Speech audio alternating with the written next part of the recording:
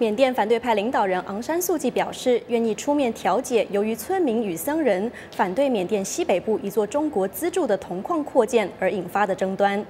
昂山素季星星期四参观铜矿时，表示愿意帮助解决这一争端。几个小时之前，警方动用水枪、催泪瓦斯和烟雾弹驱散了数百名占领了这一地区十一天的抗议者。在蒙玉瓦镇，一个加入了抗议者队伍的僧侣告诉美国之音，在警察行动期间，至少有二十个僧侣因为被烧伤而入院治疗。他们在当地时间凌晨三点袭击了几个抗议营地。缅甸总统吴登盛的办公室最初否认警察在行动中过度使用武力或危险化学品，但一位发言人告诉美国之音，在几个小时之后，总统下令收回这一声明。数百名抗议者拒绝遵照政府的命令撤离这个地区。村民和僧侣们说，铜建的扩建计划威胁到他们的环境。他们也指责当局为了这个十亿美元的计划，非法夺取居民的土地。